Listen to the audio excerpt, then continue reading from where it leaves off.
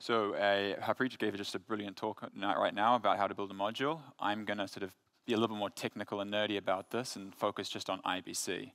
And IBC is sort of the last sort of integral component in this Cosmos vision, and it's the whole idea of being able to allow all these sovereign blockchains to connect to each other, exactly as to what Tobias said beforehand. Just a quick introduction of myself, though, and a bit of a preface. I am not the IBC protocol architect, so if you want to sort of get into the nerdy details about it, I can only go so deep. My background is actually for the uh, Tendermint core team. So uh, Tobias, uh, just for a little bit, mentioned uh, the Tendermint core, the other sort of consensus engine that makes sure that state machine replication happens in a Byzantine fault-tolerant environment. So I'm great when it comes to that. We'll see how this goes. So I think before even diving into like how you're going to build a module, let me just explain what IBC is.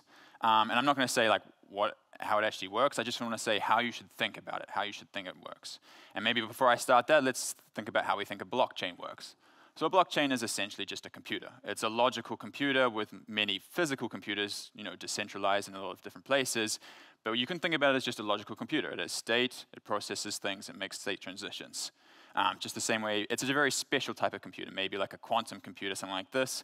It just has a lot of nodes all over the place, and it's good for making environments where there is Byzantine actors at play, and you want to be sort of adverse, like fault tolerant to this. Uh, so you have this sort of computer, and the way you can think about an IBC module in the Cosmos SDK is a little bit like you can see a network card. So you have a little network card that you connect with your computer. Because at the moment, your computer is all just by yourself, and you can sort of play around with that in that environment, but you can't sort of move out to anywhere else. So once you've got this network card, that sort of then sort of allows you to sort of now connect with other computers. And this is how you should think about IBC. You sort of plug that module in, and then you can sort of start plugging in with other sort of computers. Um, there is one last component between this, and this is the relayer. So the IBC is just the module itself, it's just a bit of state. So it just saves these like messages in this like kind of like a buffer, like a queue, and you have this relayer process which takes messages from one uh, blockchain and moves it across to the other. And so, and then it does this, this sort of like delivery, it opens channels, and it makes sure that the service is delivered.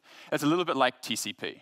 So you have UDP, which has kind of little guarantees that a message will be delivered, and TCP has a little bit more of this. So this is how another way you can view it. There's about where the analogy breaks down. You know, like at the end of the day, it's not exactly like a network chip. There are some slight differences, and we'll probably explore this more as I sort of talk about it. But I just think this is a great way to sort of like give an overarching introduction about what IBC is and sort of like the mechanics behind it, how it works and how you should view it. All right, so now we've sort of got like a high level idea about what IBC is. Let me just sort of jump into like what you need to know because you as the sort of hackathon developers, you want to know like how do I actually start using it and what are the sort of the tools that I need to sort of get it going.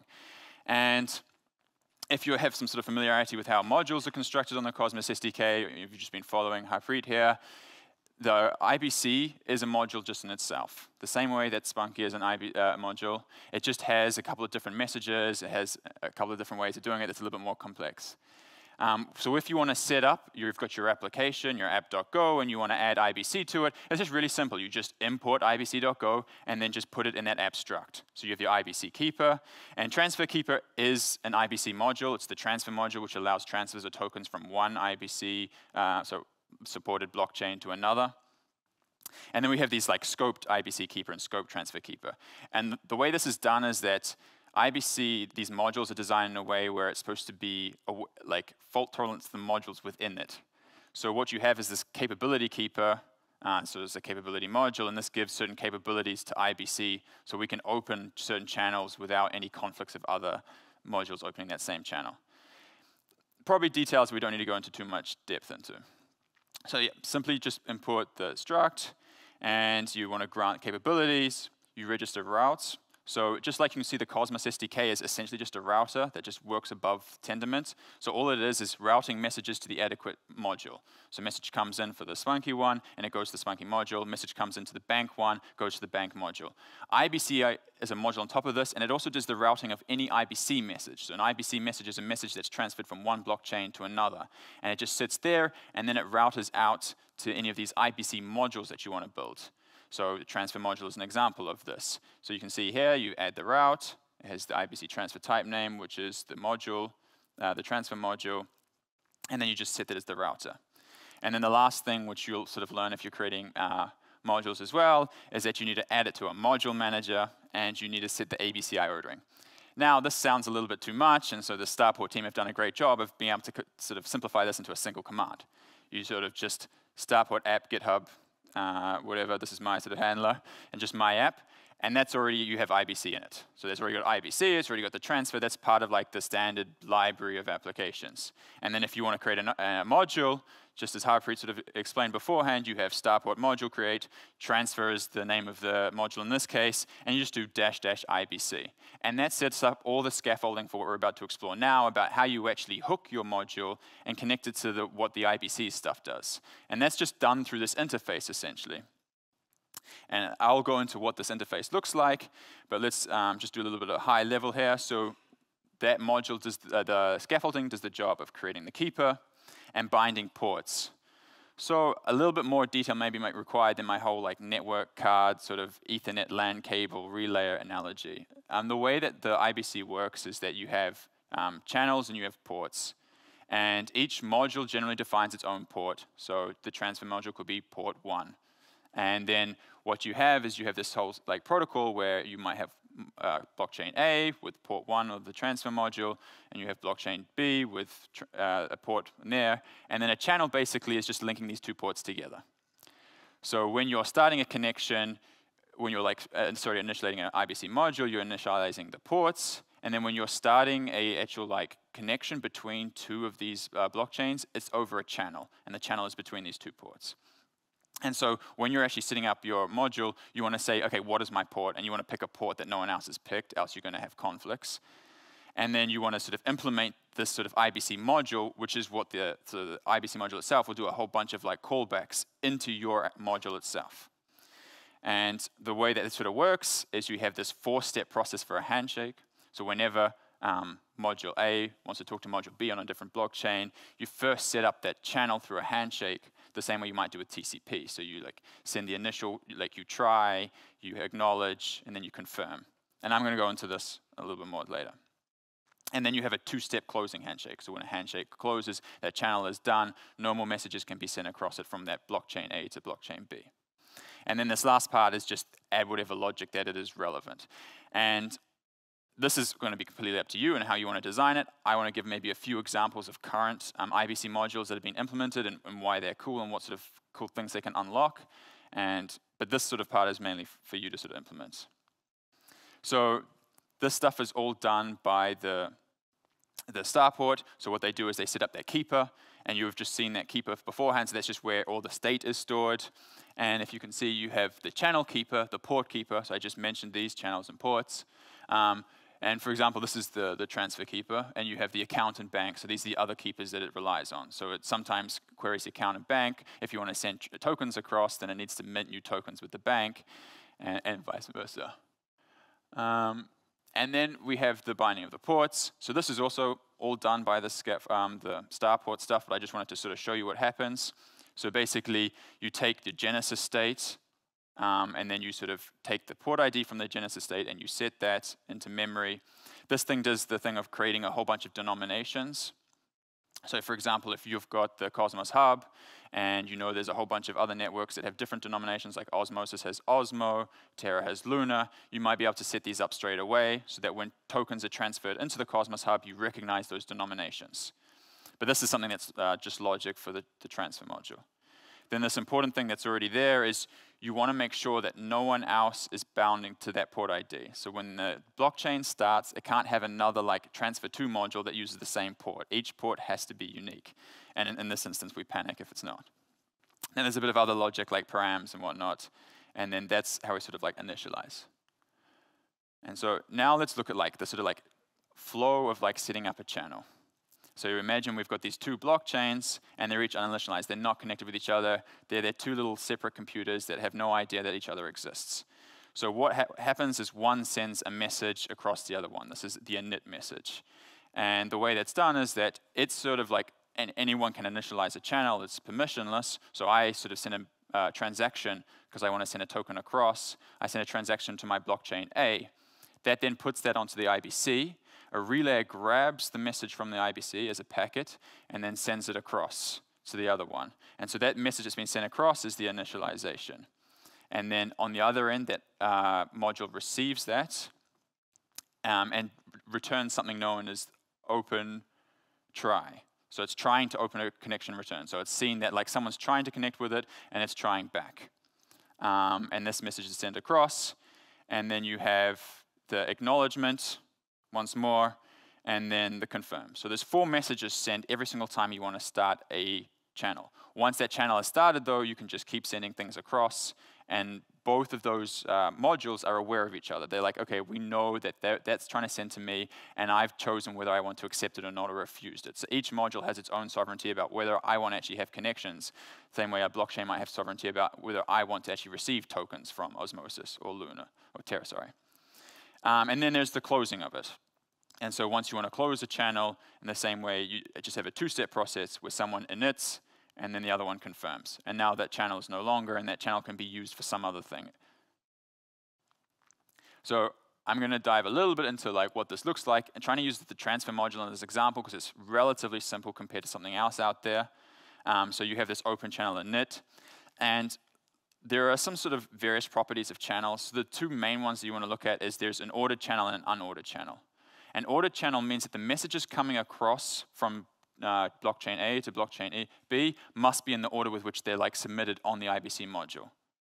Unordered means that like the relay can deliver them in any order. It means it can grab this one and then this one. Like you got to understand there might be multiple relays trying to send stuff across, and you might have conflicts about this.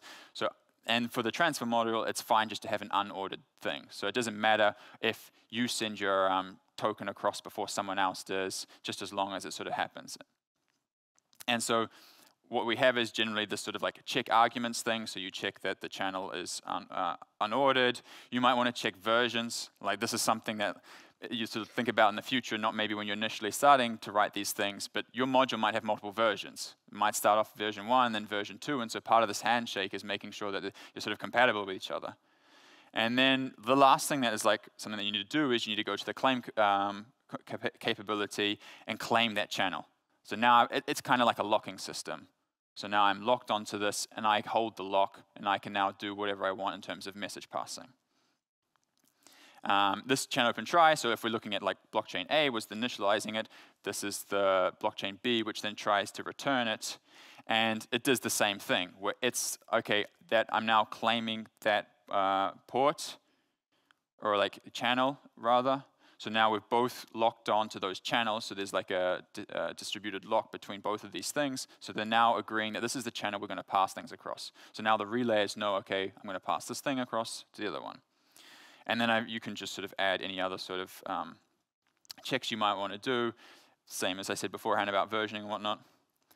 And then trying not to like make it go too elongated, you have the acknowledgement, which is much the same, and the confirm.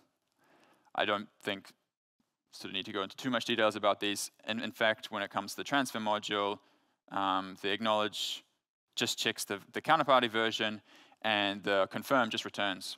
Like it's once it's confirmed, there's nothing else you need to do. So in many cases, these are very simple just to fill out. And then we have when you're closing. Now, the transfer module is quite interesting. You can't close a channel. Once you start a connection, you know, once a connection is made between, uh, for example, Terra and Cosmos Hub, it can't be closed. No one can close it. Although you might want to do something different. You might want to have some way where you can do, if depending on what you're trying to send across, you can have it so that the sender who started the channel can then close it afterwards. So, but this makes it very easy to Im implement. You just return an error whenever someone tries to close that channel, and this is just return nil. Okay, now for like the interesting stuff. So you got this boring logistics of like this handshake. How do I actually send data across? So basically what you want to do is in your keeper, you also want to take in the IBC keeper channel keeper. I sort of mentioned this beforehand. And essentially you're using that re reference of the IBC keeper to send packets. So you grab your like data, and so for example, this could be the high score, which that was a sort of like struct, and you sort of wrap that around in this packet, and then you just simply use that um, API send packet, and then it's on its way. Okay, but imagine now you're the receiver to this. There is one of two things that can happen. The packet never gets arrives to you because it times out, or you like get it and it's you know a success. And so there's two things now that you have to worry about in your module when you're receiving packets. or like when, sorry, when you're sending packets. So everything is two way. So when you're sending packets, the things you worry about is acknowledgements. So whenever you send a token across, there's going to be acknowledgement that that token actually reached its, reached its destination and was processed by that um, blockchain. And then in which case you can be like, okay, like if you're doing a transfer, you're like, okay, that transfer was complete. If the transfer failed, you're going to have to give that person back their token. Like imagine they're trying to send atoms across onto the Terra. Then if that failed, we can't just keep their atom away. We have to kind of give it back to them.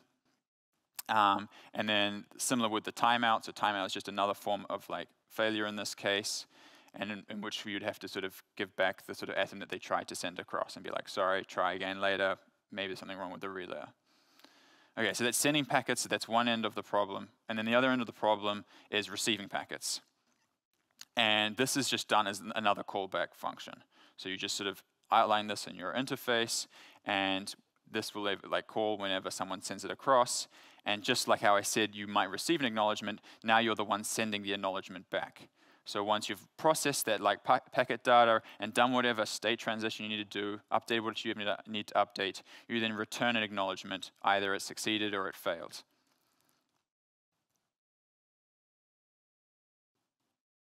Right. And then now comes into adding all the remaining logic. And this is what we sort of like, I'm going to implore on you guys to sort of work out what sort of fun stuff you can do. But before I sort of do this, I want to talk a little bit about some of the existing IBC modules and what they're doing. I already covered briefly how transfer works. It's kind of a very simple uh, concept to understand, which I think is a great sort of starting point. You're basically taking tokens from one and moving across to the other. But there is a whole sort of like plethora of other things you can do. So few helpful pointers when you're sort of starting with building your, your IBC module is just to like abuse the hell out of Control C, Control V. This is how I sort of hack at everything, how I learned about the Cosmos SDK as I just copied the bank module and I started changing things and see what happens. And I implore you guys to all do the same. Same way for just seeing how other IBC modules do it. So I've just discovered transfer module. So there's two other really cool modules that are sort of in production at the moment. There is interchain accounts. The concept of interchain accounts is you can have one account on a blockchain that represents the entire blockchain. So you have a governance module, and governance is used to vote things, to change on parameters. It could be an example of a game. You want to change like how high scores are calculated. Now, governance can also be that all those accounts on one chain represent one account on another chain. So together they can like say, uh, as a, as a sort of community, because that's what sort of blockchains are, we want to do this action, and then it's sort of reflected on that other chain, and we use IBC to do this. Another one that's very interesting is interchain security. So interchain security is very similar to what sort of like other networks are trying to do, where instead of this problem where like you need to find a validator set, how about use a validator set of an existing uh, blockchain? And this is something that the Cosmos Hub is sort of aligning itself with in the whole sort of mission of let's try help as many other blockchains get off the ground as possible. And so what interchain security is, is you take the validator set of, for example, of the Cosmos Hub, and that validator set is used, or whatever sort of portion of that validator set that is interested, in whatever, installing whatever chain you have. And so the way it works is that chain, child chain or side chain or whatever you want to call it, has a record of that validator set of the main chain and they use that validator set to do their state machine replication. What happens if there's something sort of wrong happening on this, then this child chain sends evidence across to the parent chain. And now the parent chain can do whatever sort of slashing and whatever of the stake of those validators on that main chain. And then that goes back and that gets confirmed, and then there's a validator set update, and now you do that accordingly. So what that means is that you have, I don't know, a, a few billion secured in the Cosmos Hub, that now can be used to secure any sort of child chain as it sort of grows its community. So when it starts, its token is going to be, depends on the sort of day or whatever, but very low value, and then, but in very sort of like, you know, vulnerable to sort of attacks. There doesn't need to be much sort of wealth required to sort of attack it, but you can now sort of start with the wealth of an, an existing chain that's already very much in the, you know, sort of dominates its space, and use that to sort of like protect the chain as it grows up. It develops its own validator set, and then eventually it can sort of move away from that parent chain and have its own sort of like sovereign system. The last thing that I just wanted to talk about is just to use the docs. I'm generally quite scared when it comes to like using docs. I'm like worried about how what sort of level of technical depth, but I think the IBC team have done a really tremendous job in using the IBC docs. I used it just now to try work out what I would want to talk about. I understand IBC from the point of like light client verification and a lot of this sort of like proof stuff, but in terms of like how actually people use it, I sort of use the docs and relied on it a lot for that sort of thing. All right. So I finished this uh, about now, and I would like to see if any of you guys have any questions. Of course, this is a very sort of technical overview of this, and perhaps you guys just want to approach me one-on-one. I'll be out here chilling, happy to talk about it, happy to talk about any other sort of part in the Cosmos ecosystem. I'm very much involved in all these different things. I think it's a very much an attitude of anyone in this space. They can't just do one thing. They're too busy juggling five or six different other things. So I'm happy to talk to you about this. But if you have any questions about how to sort of initialize IBC module and maybe some things you didn't understand about the channel and stuff like this, feel free to ask it now. Just one question. Do you have any way to uh, verify the funds that are uh, uh, sharing between the bridge? Basically, if some funds were like hacked on like let's say THORChain and they were trying to uh, transfer from the Cosmos blockchain to another one, will, will there be like, any way to like, be sure that, that the funds are like come from like, a safe place and not from like a, a hacker? Um, yeah, so the way it works, and I didn't want to sort of like dive into the verification thing, but it, the IBC uses light client verification to prove that every single transaction that happened on one chain um, like did actually happen. And so the way it, it, kind of does this is the IBC module keeps a track of all the headers on all the other chains. And when, so IBC relays, they're relaying both packets, but they're relaying state updates. And so what happens is you might have these two chains here, and it will take the header that's produced, the next block, each block has headers which sort of verify like what was in that block. It takes that header across and it stores it on that chain. And that chain does validate, like validates that that state transition happened. So it kind of knows what is the next header on that chain, such that when a transaction comes across, it, I don't want to get maybe too technical, but you can use like, it's like a Merkle tree and you can use a proof to work out that that transaction did actually happen on that chain. So basically, it's sort of when it, the relay is carrying the package along with the proof, and if you have the header in that other chain of that chain there, very hand wavy and whatnot, you can prove that that transaction happened. Short to say is that everything is verified. It's not like I'm just sort of hoping that that happens, then that, that state transition on that chain actually did happen. And the, the cool thing about this whole sort of IBC stuff is it's done in a very like agnostic way. So when we're talking about Tendermint, that's sort of like the main application, but anyone can sort of, in theory, write some sort of light client verifier, which does this thing of verifying headers on the actual like uh, IBC module as anything else. So it could be a Solana light client, or it could be something Solana has light clients, but it, the sort of the theory holds that you could use any other sort of like uh, system. And there is a lot of work at the moment to sort of incorporate the likes of Polkadot and Solana to have their own sort of IBC module on their um, chain and be able to sort of relay packets between the two. Does that answer your question? Awesome. Anyone else?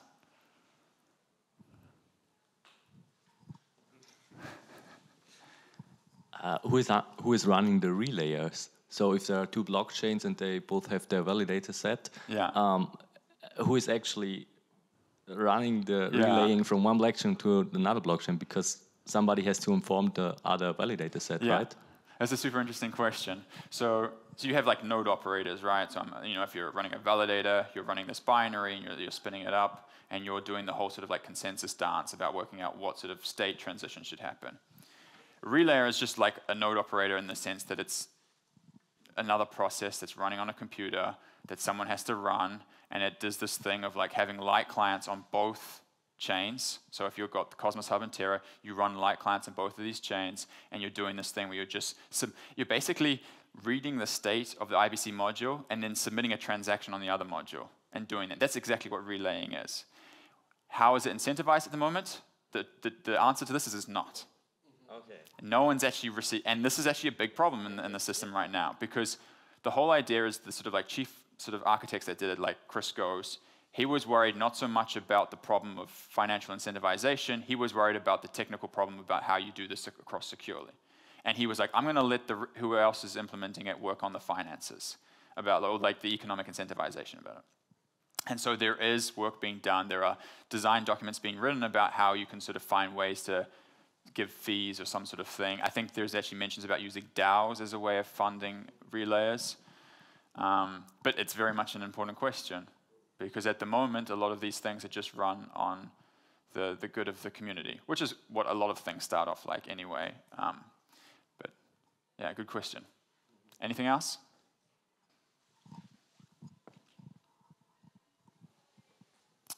All right, well, feel free to talk to me afterwards. I will be having a, staying around and enjoying the free beers. Thank you very much.